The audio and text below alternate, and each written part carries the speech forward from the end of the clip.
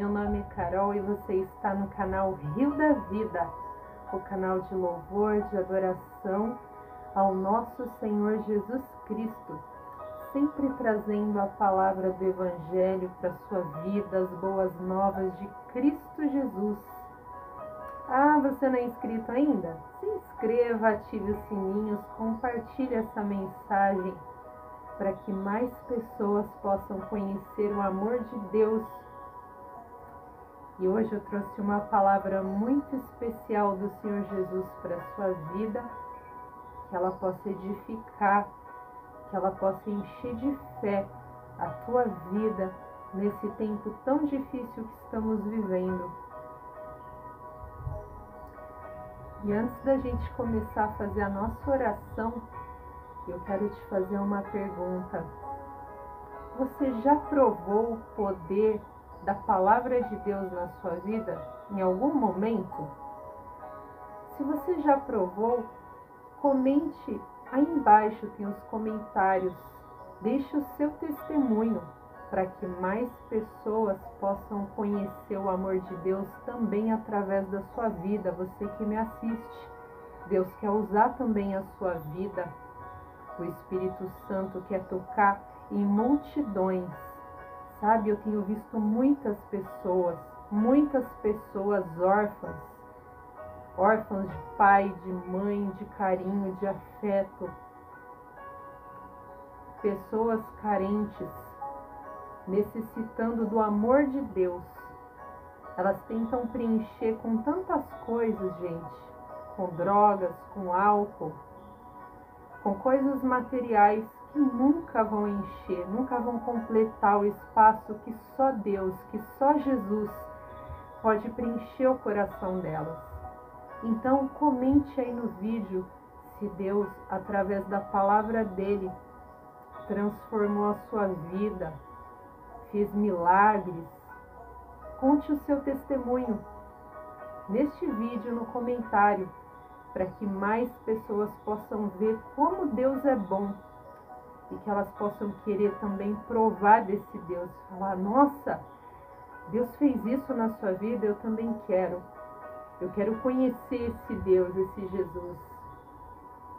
E agora, antes da gente começar essa mensagem maravilhosa que o Espírito Santo confirmou através de um sonho no meu coração, eu quero pedir para que você ore comigo. Se você puder ir para um lugar tranquilo, vai ser muito bom que você tire esse tempo para você refletir na sua vida, para você fortalecer a tua fé. Vamos lá?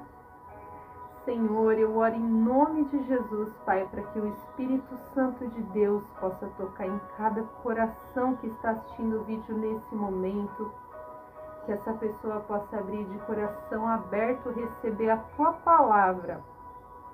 Que o Espírito Santo possa tocar nesses corações, trazer a paz, o entendimento da tua palavra e que elas possam ouvir no coração delas tudo aquilo que o Senhor tem para ela neste momento.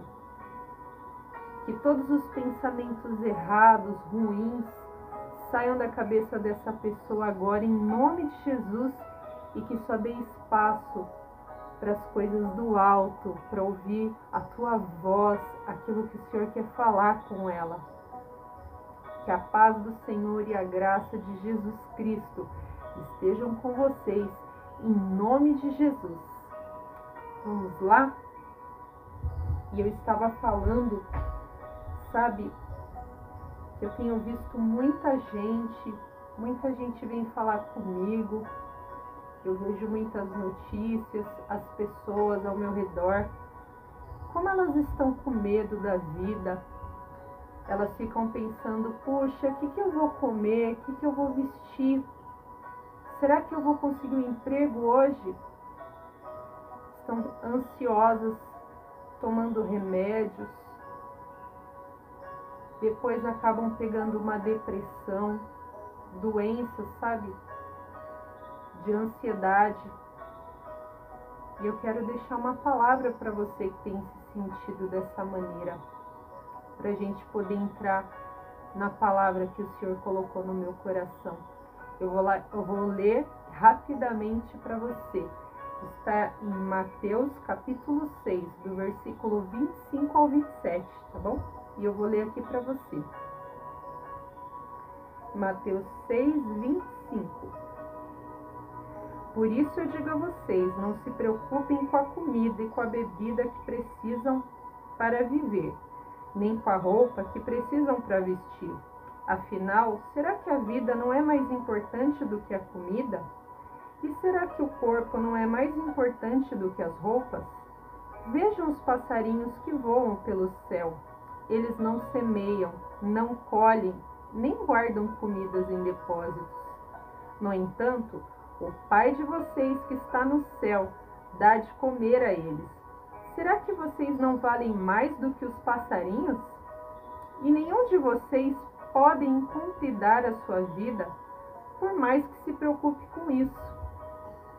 E eu deixo essa palavra aqui para você que anda ansioso, preocupado e com medo, qual seja a tua circunstância. O Senhor criou os pássaros, a natureza, mas nessa palavra ele diz que você é muito mais importante ainda do que toda a criação dele, que o ser humano para ele é muito importante. E todo aquele que crê, que confia no Senhor, ele não deixa na mão. E ele não vai deixar você na mão. Por mais que as suas circunstâncias estejam difíceis, por mais que você fale, ah, Carol, você não está na minha pele. Mas o Senhor sabe todas as coisas, porque não sou eu que estou dizendo isso, a palavra não é minha. A palavra é do Todo-Poderoso. E Ele entrega para você. Receba pela fé e Ele vai te devolver Aquele que planta chorando, amanhã vai colher com alegria. Tenha fé, porque amanhã será um dia melhor. E você vai louvar e cantar a Deus e falar obrigado, Senhor. Obrigado, Senhor. Graças a Deus. E você vai pôr um sorrisão aí na sua boca. Eu profetizo isso na sua vida. Em nome de Jesus. Vamos lá para a nossa palavra? A palavra que o Espírito Santo também me trouxe para esse dia está em Isaías 43, do capítulo 1, quer dizer, do versículo 1 ao versículo 5. Se você não tem uma Bíblia, não tem problema, eu vou pôr esses dois capítulos diferentes aí embaixo na descrição do vídeo, caso você queira ler. É uma versão diferente da minha, tá, gente? A minha é a linguagem é, L. Deixa eu ler aqui, peraí. É a nova tradução da linguagem de hoje. Eu nunca consigo falar. É a nova tradução da linguagem de hoje. É uma linguagem simples para quem nunca leu a Bíblia, tá bom? Para ficar mais fácil para o seu entendimento. Aí depois é legal você ver outras versões da Bíblia para você se aprofundar mais e conhecer mais o Senhor. E eu vou começar a ler. Isaías 43, do 1 ao 5. O subtítulo da minha versão está: O Senhor promete salvar o seu povo. Vou começar a ler. Mas agora, povo de Israel, o Senhor Deus que o criou diz: Não tenha medo eu o salvarei. Eu o chamei pelo seu nome, e você é meu. Quando você atravessar águas profundas, eu estarei ao seu lado, e você não se afogará. Quando passar pelo meio do fogo, as chamas não queimarão. Pois eu sou o Senhor seu Deus, o Santo de Israel, o seu Salvador. Te dei como pagamento o Egito, a Etiópia e Seba, a fim de que você fosse meu, para libertar você. Entrego nações inteiras como preço do resgate, pois para mim você vale muito. Você é o povo que eu amo, um povo que merece muita honra. Não tenha medo, pois estou com você. E vai até aí esse versículo maravilhoso que o Senhor entregou, muito parecido com o de Mateus, você não acha? Para o Senhor você é muito importante, Ele deseja te honrar, Ele deseja te prosperar. Ele deseja que você tenha uma vida de paz no meio da tribulação, que você conheça mais Ele. Mas para isso, você precisa se entregar, se entregar por inteiro para o Senhor, conhecê-lo, ter uma amizade com Ele. Como você vai pedir coisas para alguém que você não conhece? Vamos supor que você está na rua, você vai pedir dinheiro ou qualquer coisa para uma pessoa desconhecida? Você vai confiar em chegar nela e falar: Olha, me dá dinheiro? Olha, eu tô com uns problemas ali, você pode resolver para mim? É difícil, né? A maioria das pessoas não tem coragem de fazer isso, só os pedintes de rua. Mas o que eu quero falar com você nessa palavra é que você quer chamar Deus de Deus, então se entregue para Ele. Não adianta você falar só com a sua boca. Você precisa se entregar para Ele, orar, conversar com o Senhor todos os dias. Eu vou ler aqui o versículo 1 para você entender o que eu estou querendo dizer, para a gente se aprofundar nisso, na nossa conversa, na nossa reflexão da palavra. Mas agora, povo de Israel, o Senhor Deus que criou você diz: não tenha medo, pois eu salvarei e o chamei pelo seu nome e você é meu. Sabe como o diabo chama você? Sabe como as pessoas aí fora chamam você? Ô drogado, ô seu noia, ô seu bêbado, ô probleminha, ô peso para sua família Ô cracudo, é assim que as pessoas te chamam, o diabo, que usa a vida delas para falar assim com você. Ô fofoqueira, é assim. Deus não. Como nós lemos no versículo 1, ele ama você e ele te chama pelo nome. Ô Luciana, ô Raquel, Ô Rafael, ô Ana Paula, ele chama pelo nome. Ele não vai chamar você por uma, uma coisa momentânea que você está vivendo ou algo momentâneo que você é. Sabe por quê? Porque Jesus pode transformar qualquer pessoa. Eu já fui bêbada, eu já fui drogada.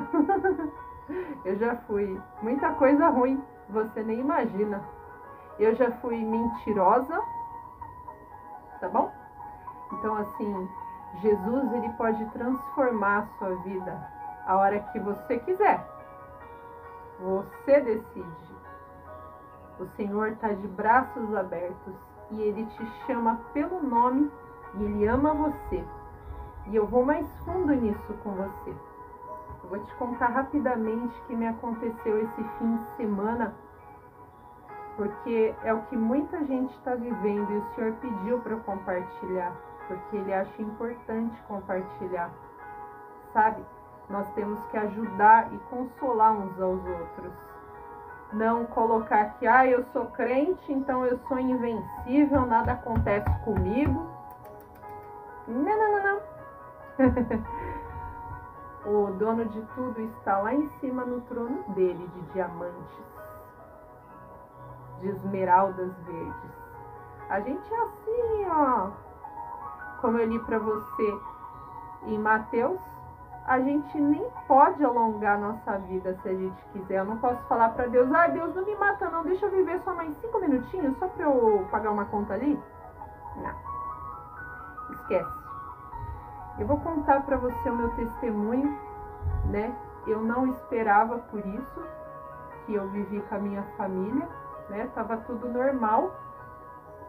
E um belo sábado eu acordei vou falar na gíria, né? Eu acordei zoada.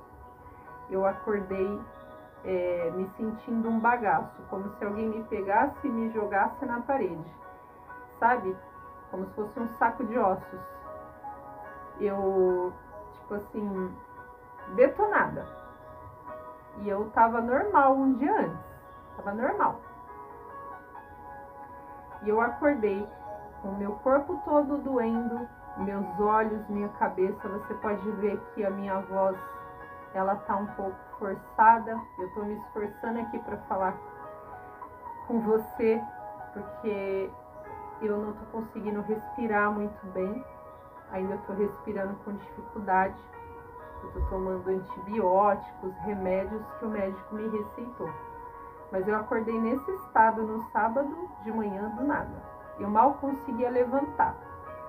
Com febre, sabe? Com mal-estar, com enjoo, uma coisa horrível. Aí logo a gente já pensa, caramba, acho que eu tô com Covid.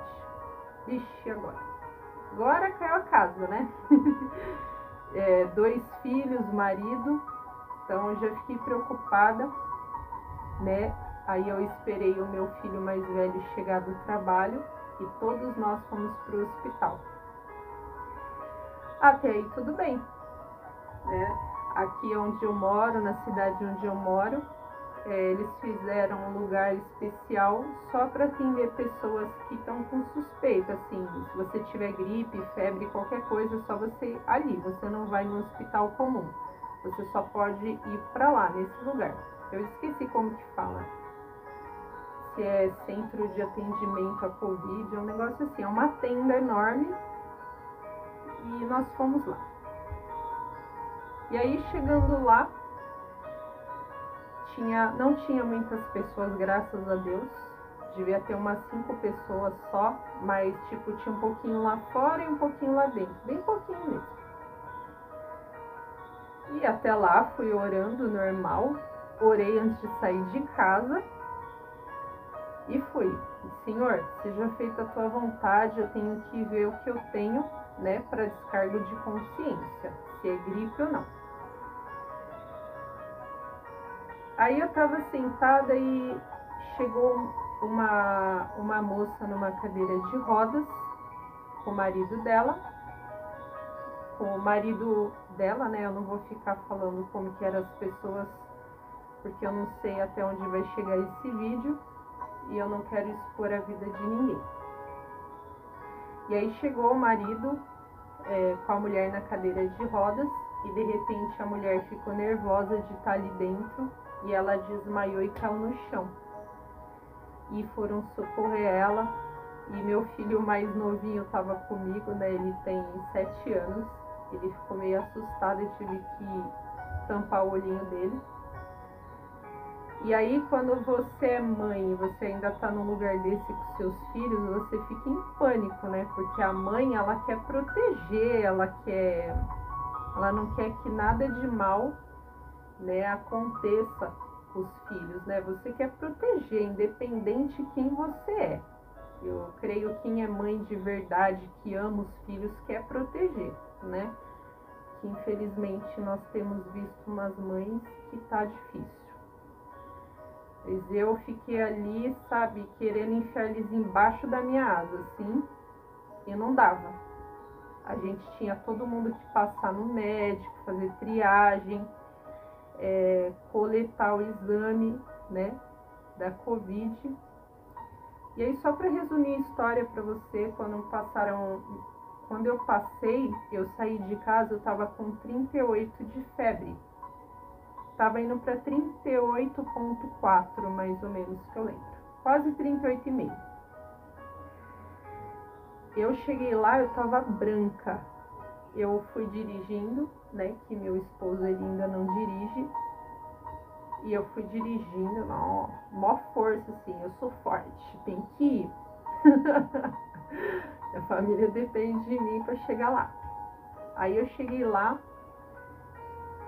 Sabe o que aconteceu? Eu estava passando mal e me deixaram por último. Então, o que, que eles fazem? Eles passam primeiro as crianças. Então, passaram o meu filho mais velho, mais novo, E eu fiquei por último e a moça esqueceu de mim. E depois ela me pediu desculpa. Ela, moça, desculpa, a mulher caiu no chão. Eu esqueci de você, que eu tinha que tirar sua temperatura antes de você ir para a sala do médico. Eu já tava assim, tipo, quase desmaiando, sabe? E eu tava ali firme, sabe? Não sei se você já passou por isso. E ela me passou lá pra, pra segunda ala com as crianças e, não, e eu fiquei na minha. Eu falei, não, eu vou esperar ela me chamar, né? Vou esperar o meu momento. Às vezes eles têm que ir primeiro. Mas o certo era eu ter reclamado com ela, né? Mas eu não fiz isso. E eu fui lá com eles passando mal, esperando, passei com o mais novo, tive que fazer o exame com ele, eu passando mal quando eu entrei nessa segunda ala começou a querer vir em mim um medo, a surtar, a chorar, a querer sair correndo de lá. Parecia que tinham, tinham me enfiado num lugar muito perigoso. Eu, eu tava me sentindo assim. Dar um exemplo para vocês. Você, você tá com o uniforme do Palmeiras e entra lá no meio da torcida do, da Gaviões. Brincadeira. Só para descontrair. Ou de repente você tá de carro e sem querer você entra numa biqueira, num lugar que vende drogas, que é uma rua sem saída. Não sei se já aconteceu isso com você e você fica com medo e você tá com a sua família inteira no carro.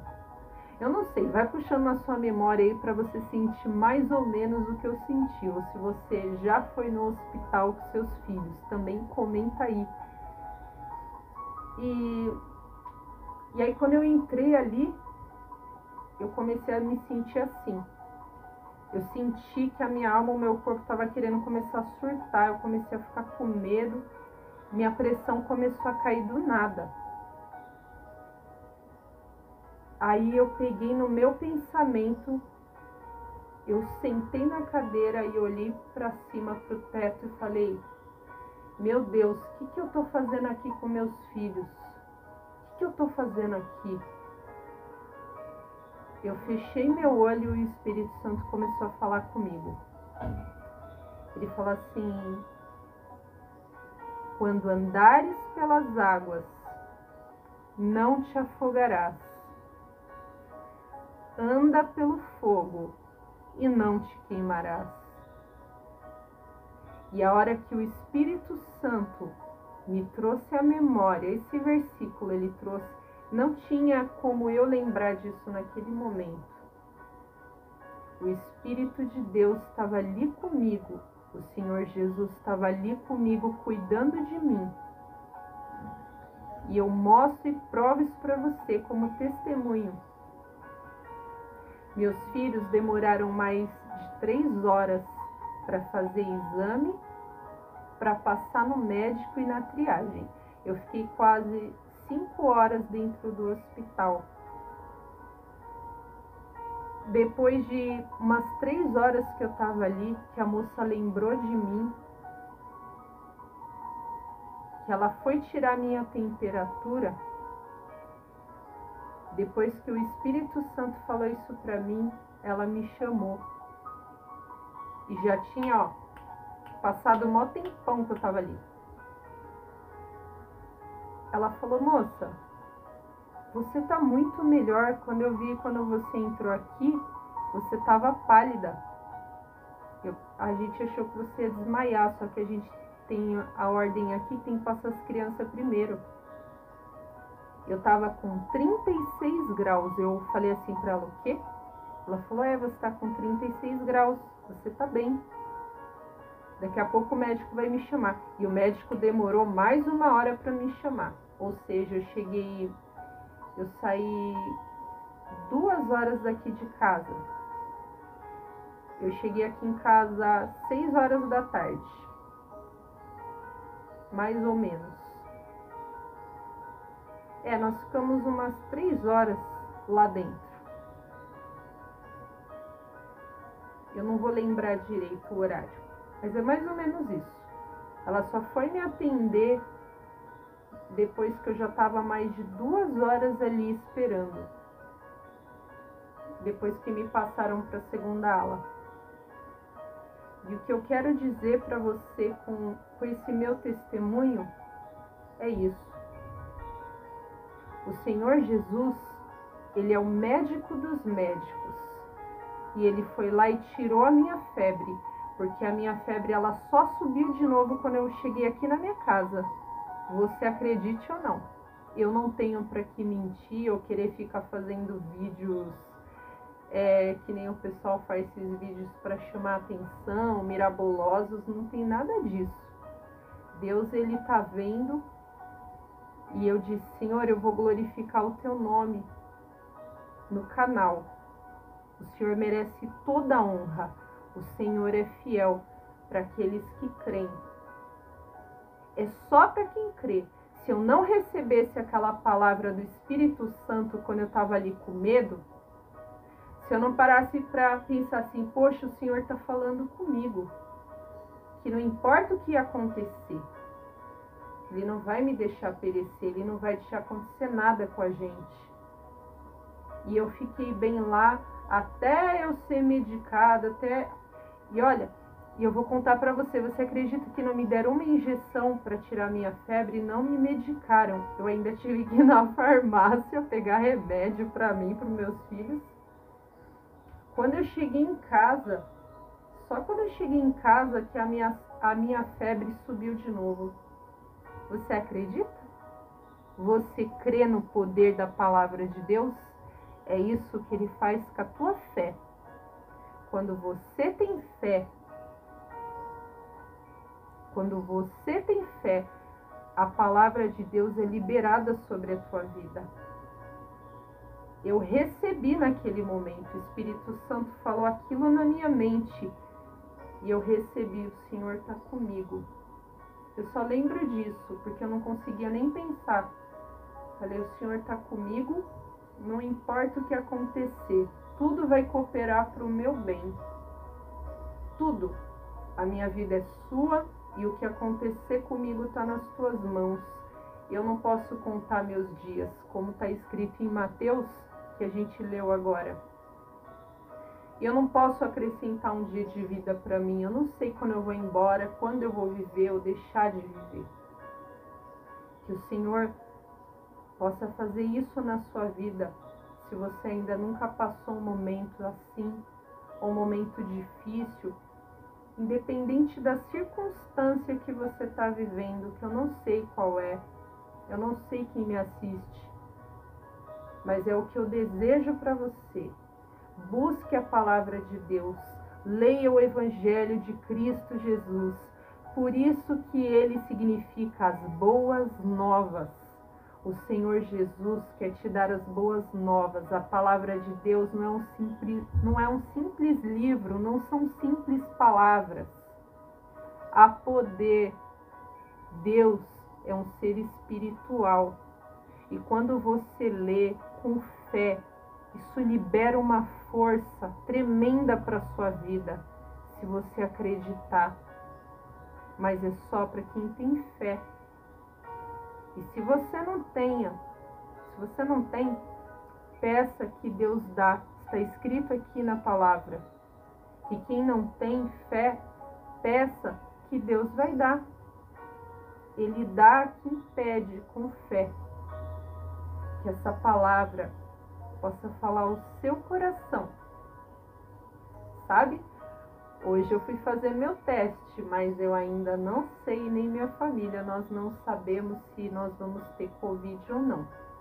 Mas o importante, independente do resultado, nós vamos preferir, nós vamos decidir acreditar em Deus e no poder dele, e que tudo coopera para o bem daqueles que amam a Deus.